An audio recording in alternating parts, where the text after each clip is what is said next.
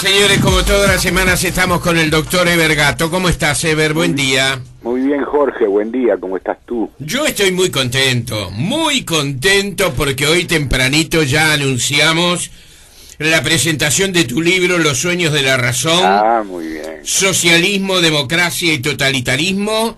A las 21 horas, Salón Rojo de la Intendencia Municipal de Montevideo el próximo lunes. Va a ser presentado en el marco de la Feria del Libro. Y a cuenta de una conversación más larga. ¿Cómo eh, no?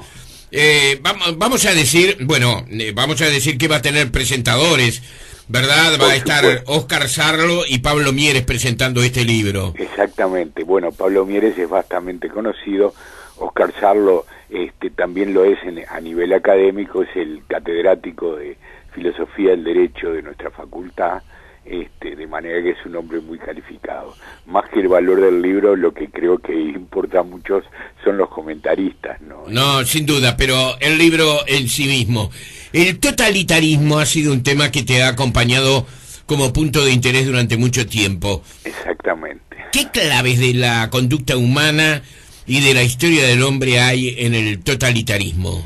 Mira, Jorge, yo creo que el hombre tiende en una de sus dimensiones a ser un ser tribal, a, sentir lo que yo llamé alguna vez el cálido influjo de la hoguera, el hecho de estar juntos, de ser una comunidad, de sentir la solidaridad de un ser sobre otro en un conjunto apretado como es la tribu.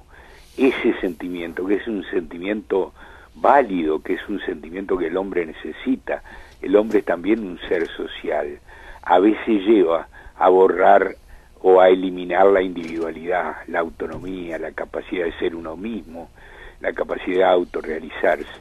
Parecería que en el ser humano pugnan dos fuerzas, el hecho de convertirse en una parte de un todo y sentir la calidez de ese todo, la solidaridad, la ayuda que significa formar parte de algo mayor, la familia, la nación, el país, los agregados supranacionales, ¿verdad?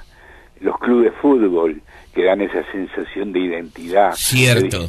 de, de disolverte en un conjunto, y lo que es el individuo pugnando por defender su personalidad, su individualidad. Y en un momento fue el barrio, ¿no? Exactamente, el barrio, que ahora se ha ido perdiendo, ¿verdad? Y seguramente sustituido por otras identidades. Bueno, entre esos dos extremos, el todo absorbiendo al individuo y el individuo pugnando por su individualidad, por su autonomía, por su libertad, se desarrolla la democracia y el totalitarismo. El totalitarismo es el desideratum del hombre integrado, del hombre eliminado como, como átomo individual e integrado en la masa. Y eso es el totalitarismo, ¿verdad? Es el conjunto que prima en forma absoluta sobre el individuo. Y por otro lado, opuesto a esto, el individuo pugnando, defendiendo, afirmando sus derechos, su autonomía, su individualidad, su- la posibilidad de ser el mismo y realizarse más allá de lo que piensen los demás que lo rodean, ¿verdad? Entre estas dos puntas se desarrolla el drama humano, ¿no? Bien. Y el libro no lo trata en estos términos, lo trata en términos más políticos, pero bueno, es esto, ¿verdad? ¿Qué significa el totalitarismo? ¿Qué, qué implicó en el siglo XX el nacionalsocialismo? ¿Qué implicó el comunismo? Como los dos, las dos grandes experiencias que vivió la humanidad de, este, de formas totalitarias, si bien distintas entre sí, ambas formas totalitarias de organizar la sociedad, y por otro lado, la reafirmación paulatina del individualismo que supone la democracia, ¿verdad? Claro. Este, bueno, en esta pugna, en este análisis de esta lucha este, entre estos dos extremos, se desarrolló todo este, eh, digamos, eh, expectante siglo XX, tan pródigo en acontecimientos, tan lleno de esperanzas, ¿no? Sí.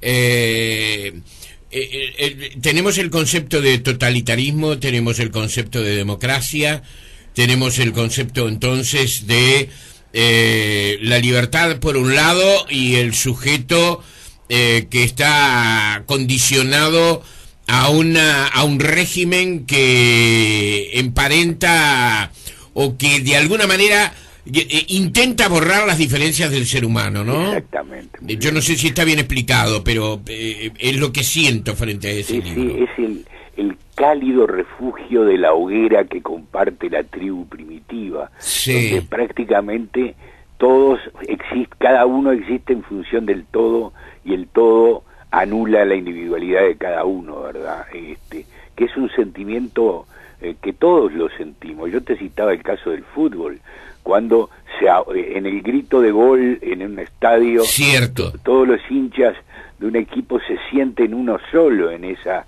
en esa celebración, ¿verdad? Superan su individualidad.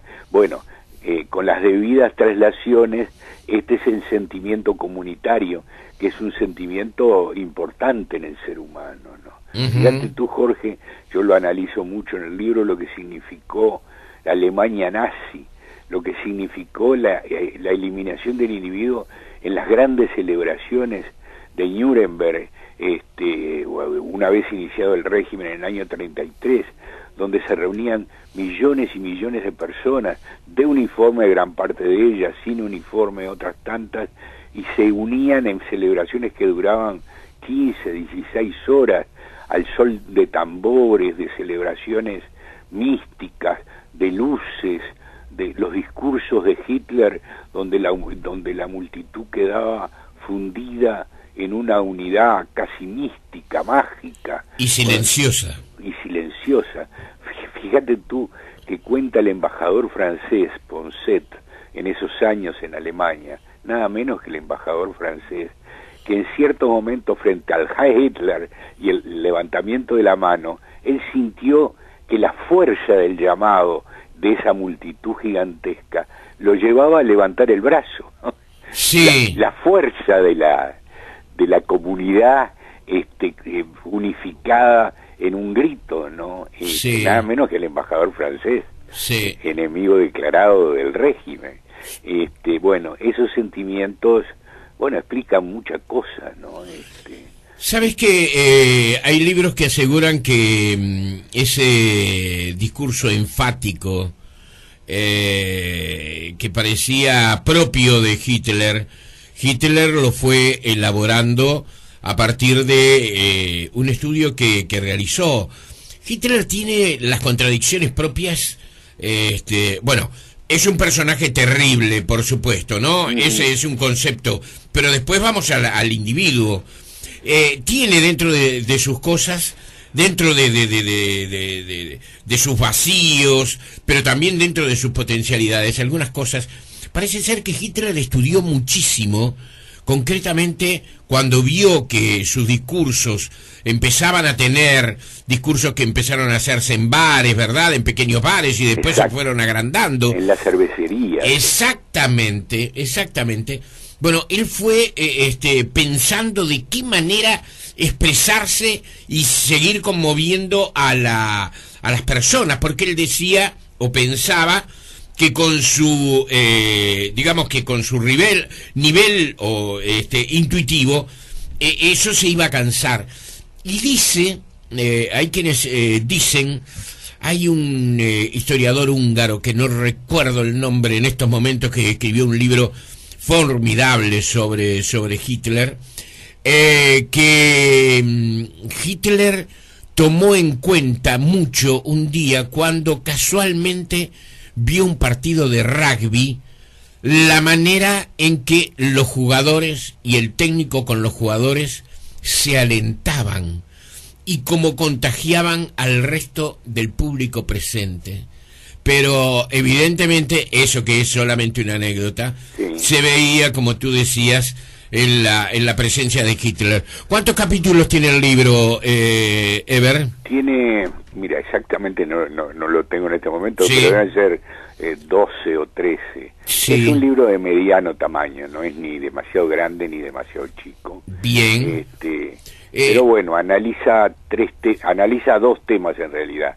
Analiza el socialismo, qué significa el socialismo en este momento, después de la caída del mundo soviético, Sí. y, si- y cuál es la congruencia o la afinidad o la posibilidad de compatibilizar el, el socialismo en su expresión clásica, es, es decir, como socialización de la economía, como estatización de los medios de producción, con la democracia liberal. Son ambas cosas, son, son, es posible conjugarlas, cuáles son los límites de esa, de esa conjugación entre la democracia liberal y el socialismo. Esa es la primera parte del libro. La segunda parte del libro es la que analiza el totalitarismo, analiza la afinidad entre las expresiones históricas del totalitarismo, es decir, entre el comunismo soviético, el estalinismo fundamentalmente y el nacionalsocialismo, que pese a ser dos expresiones políticas aparentemente y en, gran medida muy diferentes, tienen y rivales. un basamento común. Claro. Este, y luego el libro sintetiza todos esos dos análisis procurando ver cuáles son los límites de la democracia. Es un libro, yo te diría, de filosofía política, pero que extrae permanentemente ejemplos de lo sucedido en el siglo XX. ¿no? ¿Llegás a nuestra América Latina? Sí, este, tengo algún análisis de América Latina, incluso de lo que yo llamo el actual fenómeno populista, tal como se, se da en Venezuela o se da en, menor medida o en diferente medida en Ecuador y en Argentina. ¿no? Sí, ahí está. Este, que es un modo de comparar realidades eh, del siglo XX con lo que está ocurriendo en el siglo XXI que vivimos. Señores, vamos a estar allí, ¿eh? A las 21 horas en el Salón Rojo de la Intendencia Municipal de Montevideo el próximo lunes para eh, estar en la presentación de los sueños de la razón, socialismo, democracia, totalitarismo, libro de Evergato, eh, una edición de fin de siglo, que va a tener como presentadores a Óscar Sarlo y Pablo Mieres. Esto lo vamos a ir repitiendo a lo largo de estos días. Ever, nos ha quedado menos tiempo, pero a ver si le dedicamos dos, tres minutos.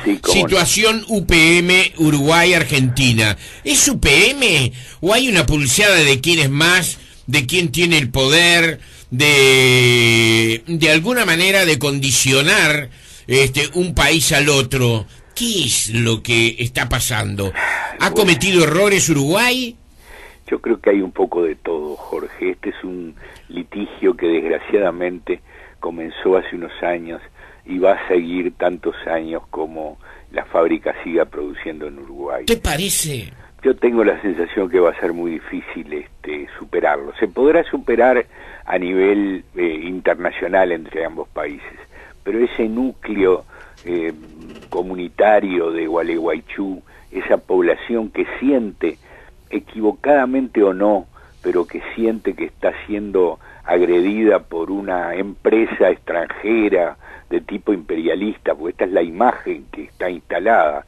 A veces no importan tanto las realidades como los imaginarios que los pueblos o las comunidades se crean. Bueno, acá, para los de Gualeguaychú, Uruguay llevado o impulsado por una potencia imperialista mundial, este, por esas grandes transnacionales, es un peón en un juego que los está agrediendo. Y cambiar este imaginario, Jorge, creo yo que va a ser tremendamente difícil.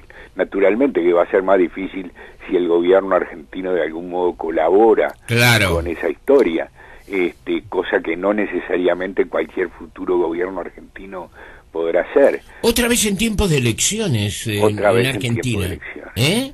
Y eh, con grandes dificultades para el partido de gobierno, claro. para el kirchnerismo. Ese es un factor fundamental. Eh, Cristina Fernández no puede acordar absolutamente nada con Uruguay sin dar un flanco que en este momento no puede otorgar, cuando los números electorales están demostrando que lo más probable es que pierda las mayorías en las cámaras, ¿no? Claro. A pesar de que se renueva solamente, creo que diputados, no estoy seguro. Sí, sí, sí, sí, sí. Solo, solo diputados. Pero bueno, ya perdió parte de su mayoría, donde pierda lo que le quede y le quedaría arrastrarse en el gobierno, arrastrar el, el lapso que le queda, digo, ¿no? Este, con grandes dificultades. De manera que el tema UPM es un tema irresoluble. Yo creo que Uruguay debo decirte, este, más allá de alguna vacilación inicial, de alguna desprolijidad en el proceso, de un canciller que es poco preciso, que es poco definido. No está a la altura, ¿eh? No está a la altura, se mueve con demasiadas vacilaciones. Pero más allá de todo eso, creo que la decisión de Uruguay estuvo bien tomada. Hace, desde marzo, es decir, hace más de seis meses, siete meses en concreto, Uruguay está eh, conversando con Argentina y cada solicitud que le hace a Argentina de más información y Uruguay inmediatamente la contesta y Argentina le dice que no es suficiente. Entonces se ha llegado a un proceso donde este, Argentina tiene, me, creo yo, este es un juicio de valor de un uruguayo, eh, lo digo porque este, no habla el oráculo de Dios, habla un, un espectador este, interesado en el tema, pero yo he seguido las respuestas uruguayas y yo creo que son terminantes. Sin embargo, Argentina no se da jamás por conforme. Por enterado, exactamente. Pide más informes. Se le entregan los informes y dice que no se le han entregado antes. Exactamente. Ahora, hay, hay, un comentario aparte, eh, ¿verdad? Este, hubo allí, eh, no un chisporroteo, pero hubo un cierto roce en donde Cristina Fernández le contesta al presidente Mujica a propósito del tema del consumismo. Sí, sí, muy mal. ¿no? Eh, ahora, eh, el pensamiento de Cristina Fernández no está más cercano a la realidad que el pensamiento de eh, José Mujica, que está más cercano del ideal, pero más lejano de lo real. Mira, yo creo que Mujica, creo que lo comentamos respecto, no sé si lo llegamos a comentar sobre el discurso de las Naciones Unidas. Este, yo creo que fue un discurso muy infeliz el de Mujica, lleno de lugares comunes y críticas este, muy superficiales al consumismo, un fenómeno enormemente complejo, pero sin el cual el mundo moderno no podría existir. Este, con aspectos muy negativos y aspectos muy positivos, un tema que no se puede abordar con el facilismo eh, idiomático este, con que lo manejó Mujica. Pero ya nos tiene acostumbrados nuestro presidente a esta filosofía del boudoir, ¿no? Este, de manera que no es de sorprenderse. Lo que no es, eh, lo que no corresponde es que la presidenta argentina en un acto protocolar responda a un discurso que no estaba dirigido a ella, ¿no? De manera que eso está rompiendo todas y cada una de las reglas diplomáticas. Yo creo que la presidenta está muy enfrentada con Mujica y más allá de los moines y de las medias palabras hay un enfrentamiento muy importante, ¿no? Muy importante. Sí, sí, sí, sí, Este, se vio además en la forma en que viajaban por el barco, uno adelante del otro, sin dirigirse la Cierto, cierto. Este, eh, además no sé hasta dónde se perdonan las cosas que, este, por ejemplo, Mujica dijo sobre la mujer del tuerto. Eh, son cosas que también debemos asumir como errores propios, ¿verdad? Por supuesto, por supuesto que sin este, duda los tuvimos y los seguiremos teniendo en una conducción que no tiene el profesionalismo diplomático que debería tener. Ahora, lo cierto es que hasta que no haya elecciones en la Argentina, el enfrentamiento se va a seguir profundizando. Yo estuve revisando el fallo de la Haya, como, como decíamos el otro día, yo estuve en la Haya y pude tantear el ambiente del Tribunal de Justicia. Mi impresión, Jorge, y en esto me puedo equivocar redondamente, es que Uruguay tiene absolutamente allanado el camino en la Haya. Y bueno, si tenemos que llegar a la Haya, pues lleguemos a la sí, claro. La Haya no es un no es un campo de, de batalla. La Haya es la aplicación de la justicia internacional cuando dos naciones civilizadas tienen diferencia de punto de vista sobre la interpretación de, un convenio, de, en este caso del Tratado del Río de la Plata. Si hay que llegar al Tribunal de la Haya, no hay ningún demérito para ninguno de ambos. Hay que someterse al tribunal competente para que decida cuál es la forma correcta de actuar. Ever, la seguimos la semana próxima y el lunes estaremos a las 21 horas allí en el Salón Rojo de la Intendencia Municipal de Montevideo con todas las antenas puestas para la presentación del libro Los sueños de la razón, socialismo, democracia, totalitarismo del doctor Ever Gato. Ever, un abrazo grande. Un abrazo para ti, Jorge. Que pase lindo. Chau, chau. Chau.